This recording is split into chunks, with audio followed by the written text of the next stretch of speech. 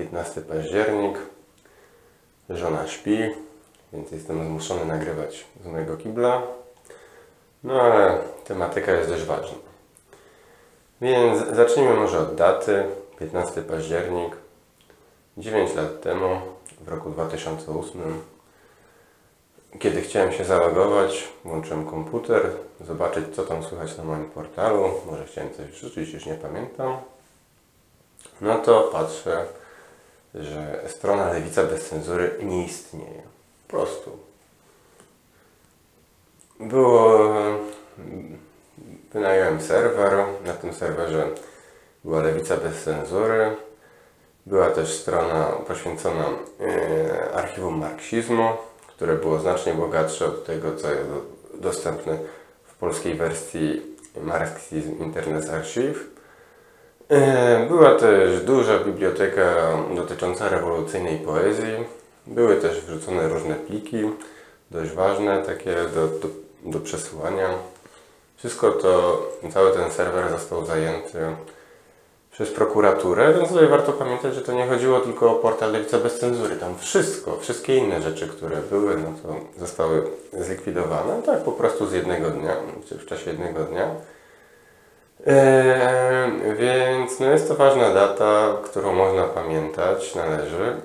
Eee, I w kontekście tego, co się teraz dzieje na YouTubie, to znaczy no, z jednej strony ten kanał 100 lat października, eee, no to odnosi zdecydowany sukces, no z drugiej jednak widać, że, że tutaj dostaje różne ostrzeżenia od serwisu YouTube. E, jeden z moich filmów, jeden z pierwszych, został niedawno skasowany. E, film się nazywa Niech żyje komunizm. Tam był z, z angielskimi napisami, taki tam dwa, dwuminutowy czy, no, e, Mam kilka dni na to, by się odwołać, no nawet się odwołałem, no ale mm, no co, no, film został skasowany, na YouTubie jest taki tam system kilku ostrzeżeń, więc ten kanał no najprawdopodobniej no, prędzej czy później będzie miał problemy. Dlatego też wkrótce, y, wkrótce będę otworzę nowy kanał. No i po prostu, jeszcze, jeszcze, jeszcze nie znam nazwy, jaki to będzie, mam kilka propozycji, no ale ponieważ no, no, YouTube działa w ten sposób, że no tak jak jest normalne prawo karne i, i, tam jest jakby zakaz dla jednostki, która coś głosi, no to ja o YouTubie to oni raczej się koncentrują na, na nazwie, na, na, że po prostu im się wydaje, że po prostu wypromowanie kanału to jest takie ważne, że właśnie logo że ja mam w dupie logo. No, dzisiaj to jest 100 lat października, pojutrze to będzie jakiś inny kanał, po pojutrze jeszcze jakiś inny. Najważniejsze jest też to, co ja tutaj przemycam i propagowanie komunizmu. Yy, no chciałbym, żeby ten kanał no, dociągnął do, do przynajmniej rocznicy rewolucji październikowej. No, tak głupio byłoby opuszczać ten kanał, czy też no... Ale być może nie będzie, nie będzie, nie ma, nie ma wyjścia. Więc towarzysze, bądźcie czujni, patrzcie co tu się dzieje. Jeśli podam wkrótce linka do innego kanału, no to najprawdopodobniej ten kanał, który jest tutaj, no, zostanie jakby martwy jako archiwum, a będę się przenosił na inne, inne jakby kanały. Jako właśnie taka komunistyczna hydra. Jeśli chcecie, to macie tutaj moją pełną zgodę na mm, ściąganie moich filmów, publikowanie ich gdzie indziej. No, żeby po prostu no, jakiś tam pomysły cenzury komunizmu w internecie no, nie działały.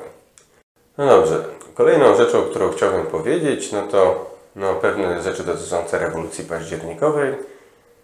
E, więc zacznę od tego, że w piątek, wieczorem w piątek o godzinie 20.30 będzie wielka impreza e, organizowana przez Litouvrier. Jest to francuska organizacja trockistowska. E, więc będzie meeting właśnie poświęcony rewolucji październikowej. Będzie przemówienie Natalii Artu. No, mówię to o tym dlatego, bo najprawdopodobniej sam się na, na, na, tym meetingu pojawię. I ten meeting będzie transmitowany na żywo za pośrednictwem strony Lutivrier. Więc no, najprawdopodobniej no, tego typu impreza jest niemożliwa do tego, żeby się odbyła w Polsce. Będzie tam kilka tysięcy ludzi. E, No więc jeśli macie ochotę, czas, no to polecam, nawet jeśli nie znacie francuskiego, po prostu zobaczyć no, dużą imprezę komunistyczną poświęconą rewolucji październikowej. No może, może mnie tam zobaczycie. Co dalej? No dalej e, tutaj e, ściągnąłem ostatnio sobie październikowy numer Pracowniczej Demokracji. No i w Pracowniczej Demokracji są dwie rzeczy, w tym numerze gazety są dwie ciekawe rzeczy. No, więc pierwsza rzecz to jest 4 listopada Pracownicza Demokracja zaprasza na spotkanie z okazji rewolucji październikowej. Eee, więc no, mamy w tej chwili już zaplanowane dwie imprezy. Jedna impreza organizowana 28 października przez kolektyw Historia Czerwona i Czarno-Czerwona, no, poświęcony Polakom w rewolucji październikowej. Tutaj jest impreza Pracowniczej Demokracji poświęcona rewolucji październikowej. Jest jeszcze kwartalnik bez dogmatu poświęcony rewolucji październikowej. No i, w, tym, w tym numerze gazety jest też e, artykuł Filipa Ilkowskiego. No i tak jak ja wskazałem Filipa Ilkowskiego właśnie tutaj w tym filmie mm, dotyczącym Barbary Nowackiej. Powiedziałem tutaj czas na czystki i tutaj no, wezwałem kilka osób do tego, żeby przeprosiły za swoje kontakty z Nowacką i Filip, e, Filip odciął się od Nowackiej. Więc jest to widać si- siłę tego kanału. Filip, pozdrawiam. No dobrze, towarzysze, tyle jeśli chodzi. A, jeszcze, jeszcze jedna rzecz. E, więc no, nagrywam, na, nagrywam z kibla, bo po południu właśnie żo- żona śpi, no nie wiem co gorsze, no, czy, czy, czy właśnie ja, teraz śpi, to nie mogę nagrywać gdzie indziej. Jak się z kolei obudzi, to będzie hałas, więc też nie można nagrywać. E, więc, e, no ale jakby ważne jest to, że po południu idziemy do kina. No, uf, nie byłoby w tym może nic ciekawego, no, gdyby nie to, że idziemy na film e, dotyczący młodego Marksa. Więc tutaj właśnie wszedł film do, francuskich kin. Film jest chyba niemiecki czy niemiecko-francuski. E, No w każdym razie no, z tego widziałem recenzję właśnie w tygodniku Lituvrier. No, wydaje się to dość ciekawe, no właśnie jakiś tam e, no to jest Marx i Engels, jak oni doszli do tego, żeby napisać manifest komunistyczny. No, no ale film postaram się zrecenzować jutro lub pojutrze. E, więc tak, no a teraz już przechodzę tutaj do zasadniczego tematu filmu. E, no i mm, no, rzecz dotyczy jakby tego, no, że, że no, cały czas, cały czas towarzysze chcecie, pojawia się w komentarzach jakby kwestia no, zorganizowania się żeby, no oczywiście fajnie sobie popierdolić w internecie o marksizmie i tak dalej, i tak dalej, no ale no, ważna jest też realna działalność, realna działalność, forma, forma właśnie zorganizowania się. E, no więc ja tak myślałem, myślałem nad tym wszystkim, e, no i doszedłem do wniosku, no że, e, więc tak, no po pierwsze, po pierwsze jest tutaj, należałoby podkreślić fakt, że że na polskiej scenie politycznej wiele formacji, które w tej chwili istnieje, są to, są to formacje, które rekonstruują swoją nazwę do, do organizacji, które działają już w przeszłości. Ikonowicz dokonał reaktywacji PPS-u, e, mamy rea, e, reaktywację falangi, mamy reaktywację Młodzieży Wszechpolskiej. E, co tam dalej? No, już nie chce mi się wymyślać, no ale tam pewnie jest jeszcze kilka innych e, partii politycznych, które jakoś tam nawiązują do... Aha, no jest Komunistyczna Partia Polski reaktywowana, e, więc no ja też tutaj chcę sięgnąć do mm, właśnie do tradycji historycznych, do właśnie tworząc, tworząc organizację, no to uważam, że jest nazwa, którą należy wykorzystać. E, No nazwa to jest związana jakby... Tutaj należy jakby porozmawiać chwilkę o KPP dzisiejszej. No, ta KPP, no, y, program ma charakter nowolewicowy, no, nie ma tam, jest on całkowicie nierewolucyjny, dorobek tej partii no, jest żałosny. E, Więc tak jak no właśnie kilkadziesiąt lat temu doszło w końcu do, do, do likwidacji KPP, jako właśnie tej organizacji przeżartej przez agenturę, tak ja uważam, że w tej chwili no, e, należałoby postawić tutaj pytanie na rzecz kwestii likwidacji KPP współczesnej jako partii właśnie przeżartej przez reformizm i, i, i jakieś tam nowolewicowe pieprzenie i trzeba jasno tutaj postawić kwestię reaktywacji Polskiej Partii Robotniczej. E, no, uważam, że no, są przynajmniej dwa powody, dla którego no, partia, którą chcę budować, powinna nazywać się Polska Partia Robotnicza. Więc pierwszy powód to wyłożyłem w wielu różnych filmach e, dotyczących właśnie inteligencji i tego, jak sobie ja wyobrażam partię. No i to mówiłem tutaj właśnie o tej kwestii e czołowej roli klasy robotniczej. No ale jest inna ważna kwestia, czyli, czyli, mm, czyli e, jest to e, zmiany dotyczące Polski. I, I tutaj podstawowa zmiana i to, co różni współczesną sytuację polską od tego, co było, kiedy ja e, aktywnie działałem w polskim ruchu, to jest e, okupacja Polski przez e, US Army, przez Stany Zjednoczone. E, I, to, I to jest no, dla nas komunistów, no, no, otwiera nam ogromne możliwości. Bo w tej chwili, no, przy, y, jakby, no, z mojego punktu widzenia jest to po prostu, Polska jest krajem okupowanym i my, sięgając do tradycji PPR-u, sięgamy do tej tradycji walki o wyzwolenie narodowe i społeczne. Dlatego y, jako, jako komuniści możemy podnieść hasło właśnie no, wycofania się y, żołnierzy amerykańskich z Polski. E, I na tym, i na tej kwestii, właśnie na tym, żeby budować, budować e, ruch, ruch pokojowy, ruch, który dążyłby do tego, żeby wypieprzyć, wypieprzyć Amerykanów z Polski, żeby w ogóle wypieprzyć Polskę z NATO. E, no uważam, że jest tutaj gigantyczny potencjał, tak jak był gigantyczny potencjał właśnie budowania partii w czasie II wojny światowej, właśnie na hasłach tutaj przeciwko, przeciwko III Rzeszy.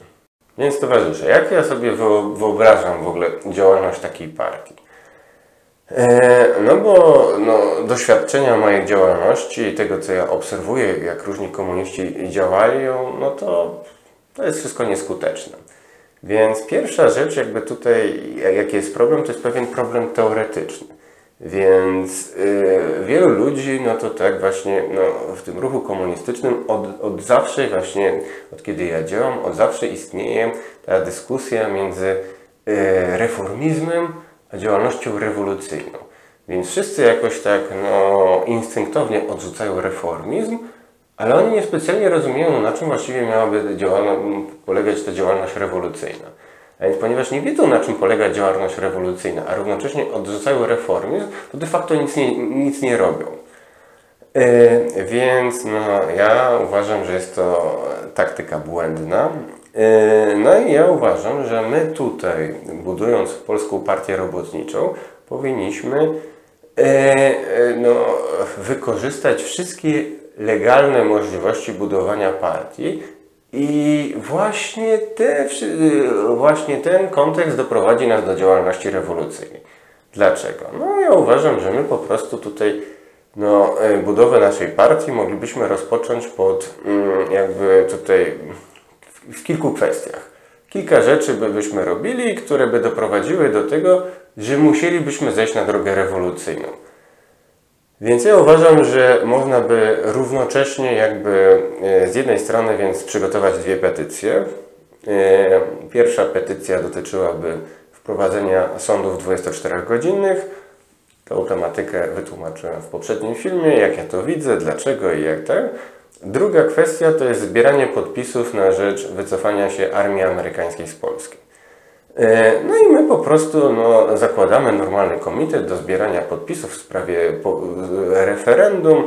Jest, tworzymy stronę na internecie, gdzie można te podpisy składać w formie elektronicznej. Oczywiście ważne jest to, żeby te podpisy zbierać na ulicy. I, yy, no i i co? No jest to taka forma właśnie propagowania pewnego programu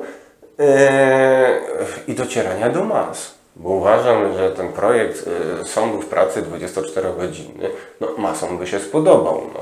Tak samo uważam, że, że potencjał hasła no, wypieprzyć obce wojska z Polskiej też ma y, tutaj, no, to może zadziałać. No a równocześnie, no to, e, no to powinniśmy powoli przygotowywać się właśnie do, do działalności wyborczej. A więc do tego, żeby, żeby no, Polska Partia Robotnicza po pierwsze przygotowywała się do tego, żeby wystawić swoich kandydatów do wyborów parlamentarnych, a po drugie, żeby Polska Partia Robotnicza e, szykowała się do wystawienia swojego kandydata w wyborach prezydenckich, czyli mnie. E, no i teraz tak, no bo tutaj zaraz się pojawią ataki, o, to ty tutaj chcesz robić reformizm, bo coś tam, myślisz o wyborach i tak dalej, i tak dalej. Więc towarzysze, ja Was uspokajam. Ja bardzo chciał myśleć o wyborach, ale nie bójcie się, towarzysze. Nie ma żadnej szansy, żebyśmy zostali reformistami, gdyż no, nasza partia, Polska Partia Robotnicza, ona nigdy nie zostanie zarejestrowana. I nie chodzi o to, żeby została zarejestrowana. Chodzi właśnie o to, żeby nas nie dopuścili do wyborów. To jest ta taktyka. E, I wtedy właśnie, kiedy my, my dojdziemy do mas, my do tych mas będziemy tutaj rozpowszechniać, e, e, będziemy rozpowszechniać takie niewinne petycje. No. Sądy, sądy pracy 24 godziny, to jest niewinne. Wypieprzenie wojsk amerykańskich z Polski, to też nikomu jakoś nie szkodzi. Ale my będziemy robić coś takiego, i, i, i, I nikt nas tutaj, no, pojawią się różne represje, pojawią, pojawią się różne tutaj blokady prawne. Nikt nie będzie chciał nas zarejestrować, a jeśli nawet zbierzemy te podpisy, to oni to wrzucą do śmietnika. I tak dalej, i tak dalej. Jednym słowem, no jasno, jakby tutaj polskie władze powiedzą, no nie ma miejsca w, w polskiej przestrzeni publicznej dla partii o nazwie Polska Partia Robotnicza.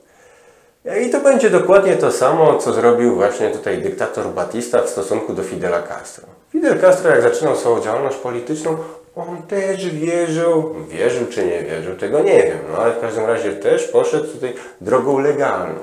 Fidel Castro poszedł drogą legalną, on tam no, nawet chyba posłem został czy coś, no w każdym razie miał jakiś tam swój ruch polityczny działający legalnie i w pewnym momencie po prostu ten ruch został e, tutaj nastąpiły represje, y, brak możliwości legalnego działania i to był ten czynnik, który skłonił zwolenników Fidela Castro i oczywiście samego Fidela do tego, żeby rozpocząć walkę rewolucyjną. Ale no tutaj chodzi o to, że my musimy zrobić wszystko, żeby właśnie no, mm, wykorzystać wszystkie legalne możliwości, jakie daje nam ten system i ponieważ wiemy, że ten system nie daje nam możliwości legalnych, no, no już sam fakt na tej nazwy, no, no, ta nazwa jest nieprzypadkowa, to jest ta nazwa, o której IPN mówi dzień w dzień, codziennie konferencje, codziennie jakieś tam próby opluwania dorobku PPR. Oni mówią, o, bo PPR to była zła organizacja, bo ten PPR to, to walczył z kapitalizmem. I mówimy, a to właśnie bardzo dobrze, to bardzo dobrze i my bierzemy ten dorobek PPR-u. No. O, bo PPR to był niedobry, bo, bo, bo tych bo, bo przeciwników właśnie, bo, bo księży i, i obszarników i burżujów to, to, to zamykał w katowniach UB. I bardzo dobrze. I tak dalej, i tak dalej. Więc, więc my nie musimy tutaj się starać o to, żeby nagłośnić nasz program, no bo nasz program jest nagłaśniany przez IPN, a my po prostu mamy tą odwagę i mówimy, my bierzemy ten program. Ten program, który leży na ulicy, którego nikt nie chce podnieść, ja go biorę. Ja z dumą mówię, tak. I, I co? No i dorobek PPR to jest dorobek tej organizacji komunistycznej Polski, która wzięła władzę. To jest jakby kluczowe. No jest mnóstwo różnych organizacji w historii polskiego ruchu robotniczego, które, które, mm, które no, skończyły się klęską albo po prostu do niczego nie doprowadziły. No, tym się różnią te organizacje od PPR-u, że PPR wziął władzę. Więc w każdym razie, no ja sobie budowę PPR-u e, wyobrażam w ten sposób, że mm, no jest tutaj pewien dualizm między między tym kanałem a, a samą partią. Więc no, ten kanał ma charakter komunistyczny. E, więc póki co jest to inicjatywa autorska, jestem tutaj sam, od czasu do czasu może kogoś przedrukuję, nawet bez jego wiedzy i bez zgody, nawet wbrew jego zgodzie.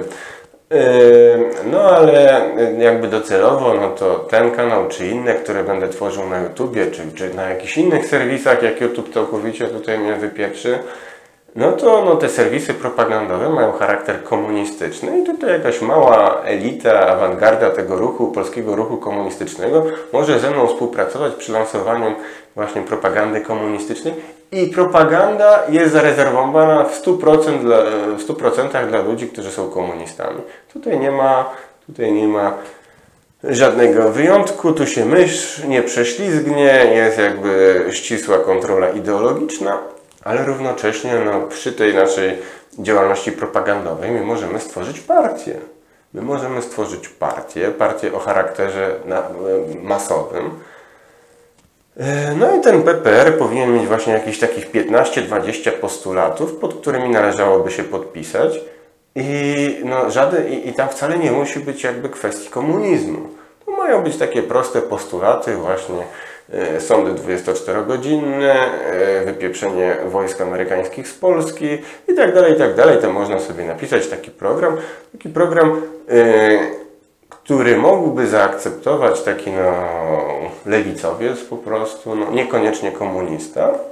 No w każdym razie, żeby, żeby zostać członkiem partii, należałoby zaakceptować wszystkie te punkty, takie ogólne, dość takie, no,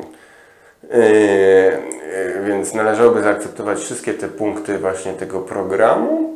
Yy, no i oczywiście, no, ja bym tutaj wprowadził dwa zakazy dwa zakazy, czyli no, partia jest otwarta dla wszystkich, którzy akceptują, akceptują no, te tutaj punkty programowe.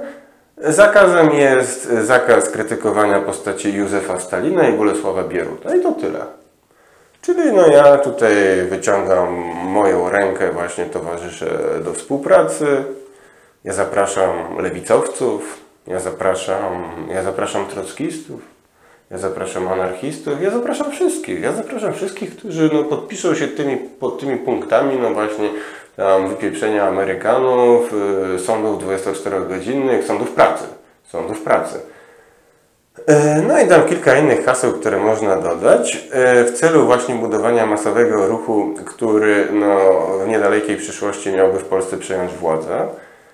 E, no i, i tyle, no. Więc jeśli ktoś, więc jeśli no, trockisto, internetowy trockisto, jeśli ty właśnie się zastanawiasz, no, no co ja chcę zrobić ze swoim życiem, no tutaj całe życie działam w jakichś tam małych sektach, to nie ma żadnego, żadnego, mm, żadnej perspektywy na zwycięstwo, jestem tutaj odizolowany od mas, więc ja Ci proponuję, ja Ci proponuję, ja, ja Tobie daję prostą ofertę.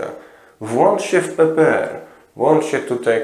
No i zresztą na tych y, y, stronach trockistowskich można znaleźć analizy, jaka to jest wielka dynamika kampanii wyborczej Berniego Sandersa albo kampanii wyborczej tego, jak mu tam, Jeremiego Corbina.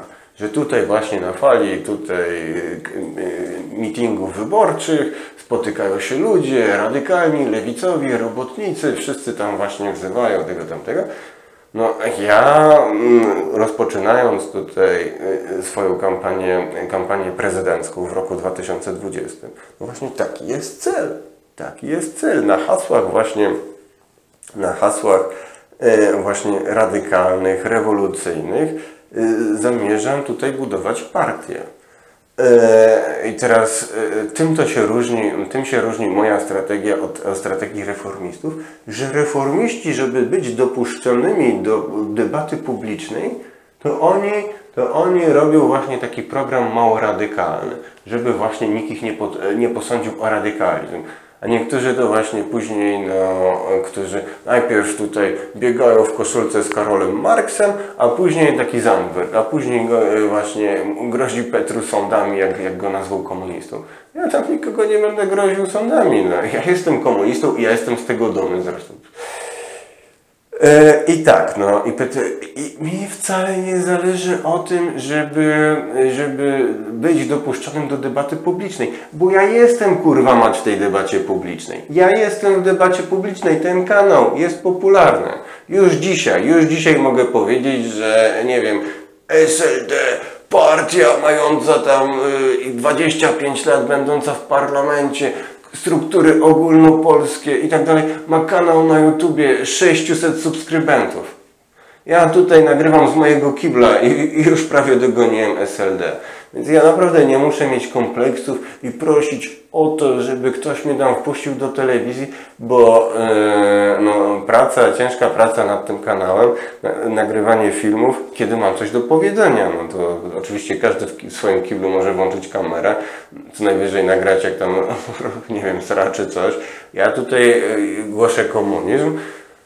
I, e, i, I póki co, no, tendencja jest e, ciągle rosnąca i nawet jeśli mi skasują ten kanał, to to będzie tylko dowód na to, że no jak bardzo ich to boli, no bo ile już jest tutaj e, polskich kanałów lewicowych na YouTube? Mnóstwo, no. Ale nigdy, żaden nigdy nie został skasowany. No a ten kanał pewnie będzie skasowany i to nic nie zmieni, no bo ja e, od razu będę miał inny kanał. I ten kanał będzie jeszcze popularniejszy od tego kanału, który będzie skasowany. W każdym razie uważam, że e, wylansowanie tych e, trzech kampanii, czyli kampania zbierania podpisów w sprawie wycofania się wojsk amerykańskich w Polsce, tylko my to możemy zrobić, nikt inny tego nie robi. Po drugie, sądów pracy 24-godzinnych. Jedno i drugie, my możemy spokojnie wo wobec tego zebrać kilkadziesiąt tysięcy podpisów. Zebranie kilkadziesiąt tysięcy podpisów to już jest wyjście w masę już jest wyjście w masy i tylko od nas zależy, czy my te masy później będziemy w stanie przekabacić na, na nasze pozycje polityczne i popchnąć dalej w jakimś kierunku właśnie walki politycznej, walki o socjalizm.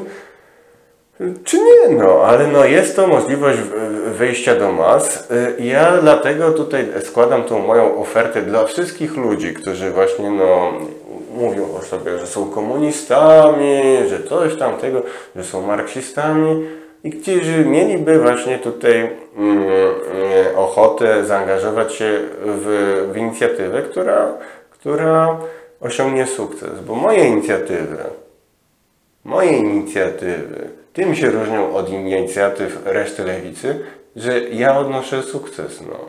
Taki y, sukcesem był e, portal Lewica bez cenzury. Do tej pory nikt nie zrobił lepszego portalu niż ja miałem. Nie, było nigdy portalu bardziej popularnego od portalu, który został zamknięty 9 lat temu przez prokuraturę. No. Przez 9 lat nie potrafiliście nic zrobić. No. Więc zwróciłem. I z mojego kibla muszę nagrywać. I teraz z, powstał ten kanał i znowu jest, jest sukces.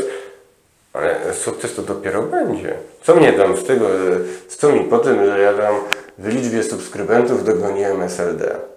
Za, za rok ten kanał to będzie miał 20 tysięcy subskrybentów. Więc teraz tak, no, od razu może się pojawić pytanie, o, ale po co ty tworzysz PPR, skoro już jest jedna partia antyamerykańska? Nazywa się Zmiana. Więc ja mogę tutaj powiedzieć jakby w sprawie zmiany, no, że zmiana mm, no, z mojej perspektywy wytraciła jakby swoją dynamikę po zamknięciu Piskorskiego, tak niespecjalnie wiedzą co mają zrobić.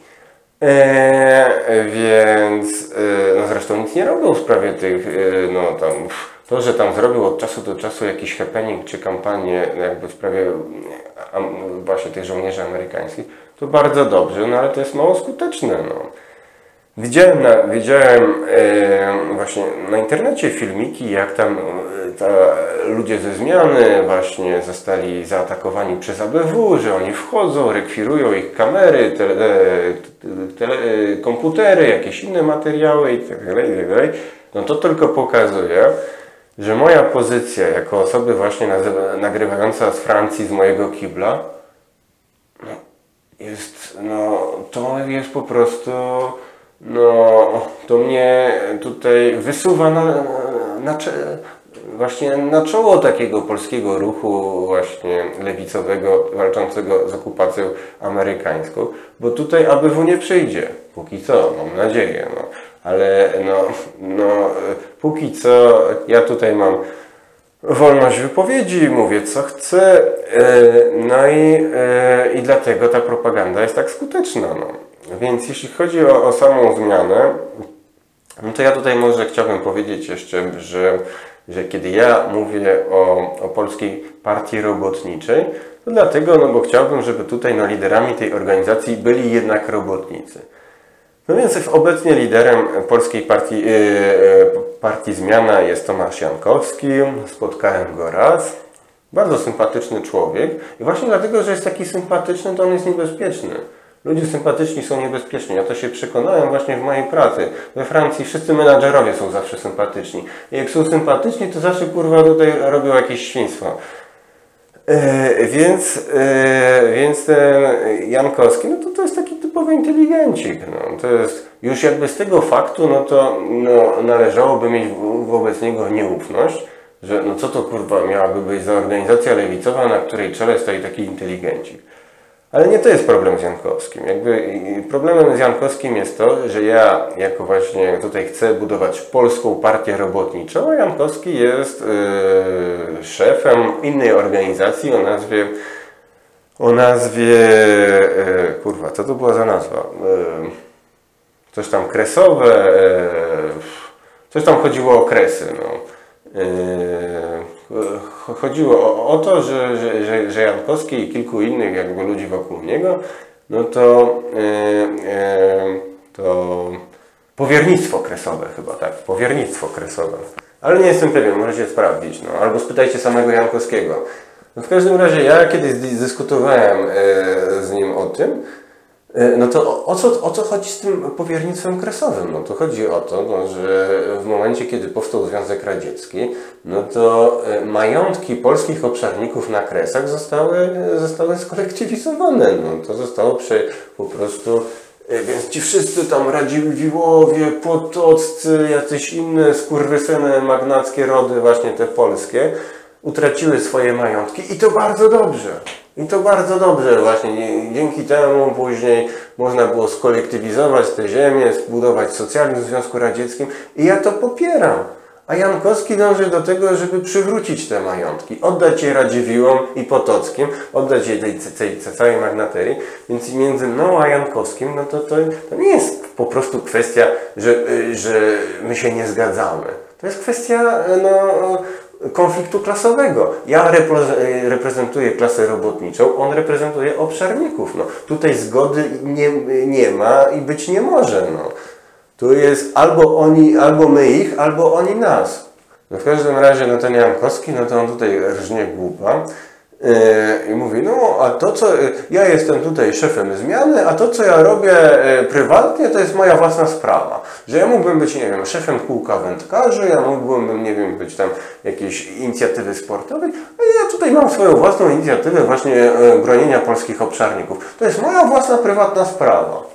On tak mówi, otóż nie, kurwa, to nie jest Twoja własna prywatna sprawa. Chcesz sobie bronić obszarników, to sobie broń, ale no jakby w ten sposób kompromitowana jest cała partia zmiana. Yy, więc no, yy, towarzysze, towarzysze ze zmiany. Ja Wam jasno mówię, jeśli Wy realnie tutaj, no, no, no bo to jest wszystko, ta, cała ta zmiana to takie dwuznaczne. No. Z jednej strony mają czerwony sztandar, z swoją literką Z czy coś, no ale ten sztandar jest czerwony. No i nam pojawiają się różne hasła, właśnie tam obrony PRL-u, wycofania wojsk amerykańskich czy coś, więc jest, są tam pewne rzeczy, które mi się podobają, no. ale oczywiście jest mnóstwo bzdetów. Więc towarzysze, no, te rzeczy, które mi się podobają, ja, ja Was chętnie tutaj przygarnę, e, ale równocześnie e, te osoby, które głoszą bzdety, no to wypierdolić, no. No w każdym razie problem z Jankowskim, yy, główny problem z Jankowskim polega na tym, że, że on jest oportunistą.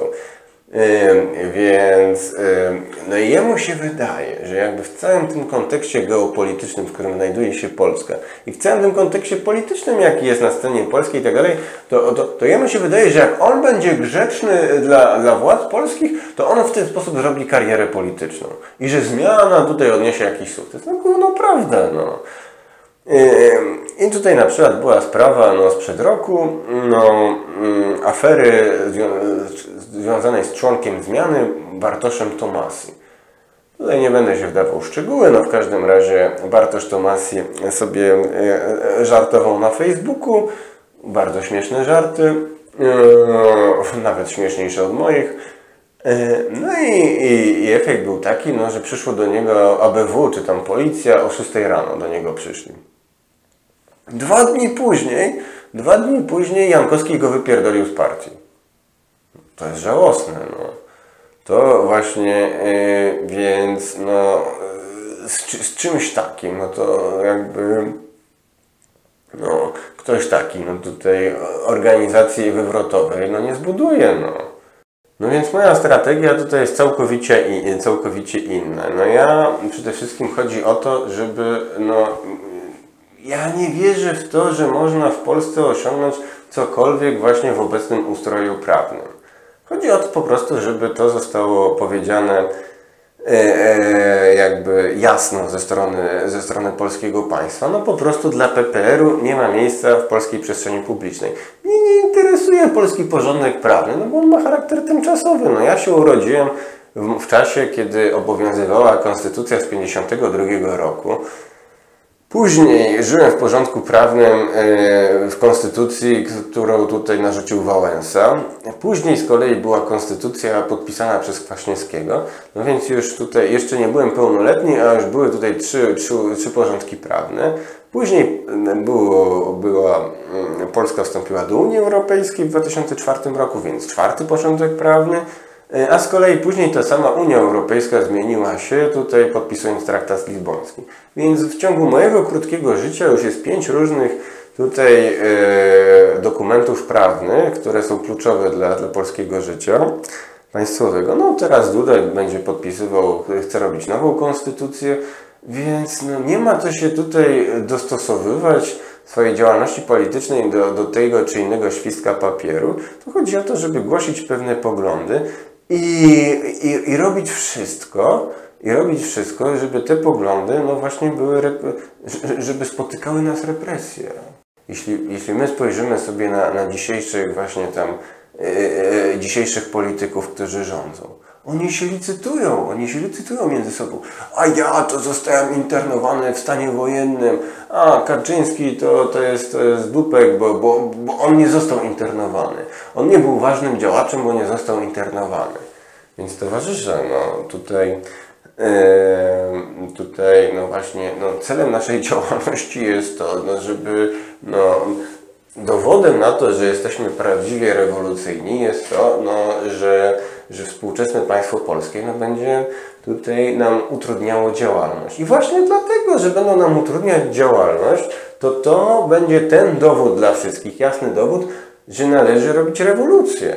Że w ramach obecnego systemu prawnego niemożliwe są tutaj zmiany. To będzie ten czynnik, który tak jak Fidela Castro, tak i nas może tutaj popchnąć do tego, no towarzysze, w parlamencie się nie da, wyborami się nie da, no, trzeba, trzeba odbudować Gwardię Ludową. W takim razie towarzysze, no, pora wreszcie tutaj doprowadzić do jakiegoś przegrupowania, do zjednoczenia. E, Pora, żeby no, ruch komunistyczny wreszcie tutaj funkcjonował na ulicy, miał własne inicjatywy. To nie może być tak, że ciągle komuniści idą w ogonie jakiegoś Ikonowicza czy jakichś innych. My możemy wystąpić ze swoją własną inicjatywą. Niech inni się wleczą w naszym ogonie. Niech inni widzą, o kurwa, oni zabudują tutaj masowy ruch, dołączamy się. E, Więc no, ja tutaj jestem otwarty na, na wszystkich w sposób taki niesekciarski czy coś, no, e, tylko po prostu, no, żeby, żeby tej inicjatywy no, nie rozbijać na starcie. No, to nie może być tak, że ktoś przychodzi i mówi, no ja jestem, e, ja jestem komunista antystalinowski. Więc nie, no, jeśli ktoś tutaj przychodzi i mówi, ja jestem antystalinowski, no to on, on chce rozbijać ruch. On chce rozbijać ruch, on chce rozbijać jedność, niech sobie siedzi w jakiejś tam, niech sobie siedzi w jakiejś tam swojej sekcie. Ja, ja mogę szanować właśnie za jakieś tam rzeczy, nie wiem, ja, ja nikomu nie zamykam drzwi. Jak ktoś mówi o sobie, jestem trockistą, to ja po prostu mam do niego prosty, prze, prosty przekaz. Ja mogę szanować Twoje analizy teoretyczne, ale od strony praktycznej ruch trockistowski pokazał, że jesteście zerem. Jesteście zerem, nic Wam się nie udało. Więc jeśli chcecie że wreszcie tutaj, y, żeby był was, z Was jakiś pożytek, zaangażujcie się w inicjatywę, która no, ma szansę na sukces. Inicjatywa, która jest podłączona do najpopularniejszego e, serwisu tutaj propagandowego na lewicy, kanału 100 lat października, to daje, to jest ta gwarancja sukcesu. No. Ten kanał już w tej chwili jest popularny, a za rok to już w ogóle będzie mega popularny. No wchodzi, w każdym razie towarzysze, chodzi tutaj o takie no, wzajemne przenikanie się, a więc z jednej strony właśnie, żeby, żeby kanał tutaj kształtował, kształtował partię, z drugiej strony, żeby ta partia miała charakter masowy i ona tutaj no, no była tą taką no, naj, naj, najciekawsze osoby, jakoś tutaj najbystrzejsze mogą się włączyć w tworzenie pro, propagandy komunistycznej i tak dalej, i tak dalej. Więc tutaj no, możemy się uzupełniać. No w każdym razie towarzysze, rzuciłem pomysł. Twórzmy, odbudujmy, odbudujmy Polską Partię Robotniczą. Już sam skrót PPR dobrze brzmi. No już to sobie wyobrażam. Wychodzimy na ulicę, właśnie kilkaset osób i my nie musimy nic krzyczeć, nic, nic wymyślać jakichś skandałów. Wystarczą trzy litery. PPR! PPR! Polska Partia Robotnicza! I tak dalej, i tak dalej. Tak co możemy skandować właśnie tego typu hasła. E, no, na to, na to będzie popyt. No w każdym razie ten film był adresowany do ludzi, którzy chcieli się zaangażować w działalność realną. Zobaczymy, co z tego wyjdzie. No, mi, ja siedzę we Francji i póki co we Francji jeszcze troszkę posiedzę, ale filmy mogę kręcić. No w każdym razie, jeśli, jeśli tworzyć jakąś strukturę o charakterze partyjnym, to nie małą sektę. To nie małą sektę, właśnie e, jakieś grono wzajemnej adoracji, spotykać się w 10 sposób, y, w 10 osób i tam y, czytać tutaj te teksty Stalina i mówić, o, ale ten Stalin był mądry, albo coś tam. No nie, mnie taka działalność nie interesuje. Jeśli, jeśli organizować się do działalności politycznej, to organizować się w partię. Partię, której celem jest zdobycie władzy i właśnie no, PPR ma tutaj moim zdaniem olbrzymie możliwości tutaj rozwojowe. Właśnie rzucając hasła, których nikt inny poza nami nie rzuca. No. Więc już, już sam, samego faktu, że mamy monopol, no to, to tutaj no, masy po prostu będą się do nas no, pchały drzwiami i oknami. No więc rzucam tutaj towarzysze jakby dwa hasła pod dyskusję. Pierwszy, czy w ogóle no, podoba Wam się jakby kwestia tworzenia Polskiej Partii Robotniczej? No jeżeli tak, uważacie, no, że już czas najwyższy, no, żeby stworzyć partię. No w końcu jakieś zainteresowanie tym kanałem jest, więc no, chyba jest z kogo budować, przynajmniej grupę inicjatywną takiej partii. E, a po drugie, no jeśli, jeśli jakby no, sama idea tworzenia partii Wam się podoba, no to Pytanie, czy jakby, no, wokół czego mamy się jednoczyć? No ja uważam, że nie należy tutaj tworzyć zbyt długich programów, zbyt skomplikowanych i tak dalej, tylko raczej skupiać się na pewnych tutaj hasłach, no, takich skrajnie lewicowych, ale jednak takich, no, które, pod którymi mógłby się podpisać ktoś więcej niż komunista, no. Bo, no to, no, robienie takich, no, no po prostu właśnie te rzeczy, o których powiedziałem wcześniej, E, no i jeśli jest zgoda co do tego, że należy tworzyć Polską Partię Robotniczą i jest zgoda co do tego, że właśnie jest to dobra strategia, tutaj jakiś taki program minimum, e, no to tylko należy te, te postulaty sformułować, no i następnie organizować się towarzysze. No w każdym razie są stanowiska do obsadzenia, wszystkie te stanowiska no, organizacyjne, jakiegoś tam sekretarza, skarbnika i tak dalej. No, ja nie wiem, czy ja w ogóle będę w strukturach tej partii takich bezpośrednich jako, jako emigrant. No. Ja, mogę, ja mogę nagrywać filmy, e, ale partię to Wy musicie stworzyć, towarzysze. E, to Wy musicie stworzyć, ja się mogę zająć propagandą. No, w każdym razie, towarzysze, jeśli znajdzie się przynajmniej 15 chętnych do tego, żeby tworzyć grupę inicjatywną na rzecz powstania właśnie tej grupą, grupę inicjatywną Polskiej Partii Robotniczej, to zbierzmy się, przedyskutujmy i czas, i czas wyjść do mas. Pozdrowienia towarzysze.